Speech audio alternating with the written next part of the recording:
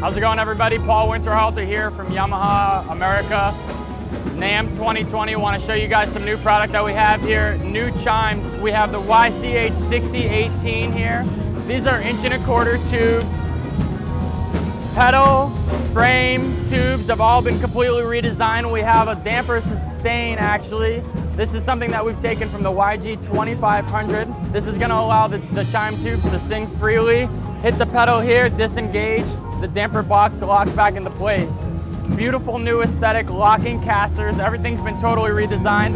We'll switch over here to the YCH 7018. These are inch and a half tubes, a little bit bigger tubes. A lot of the same, obviously, elements of design from the 6018. A Couple differences here I want to point out.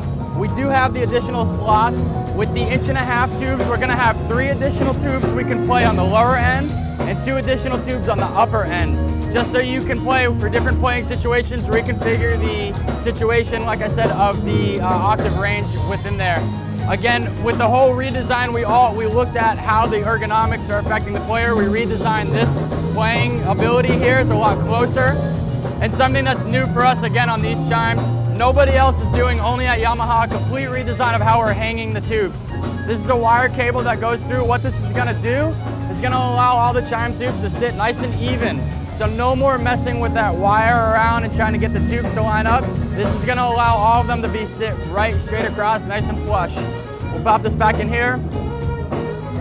A couple other elements I wanna talk about on the 7018 are the height adjustment casters.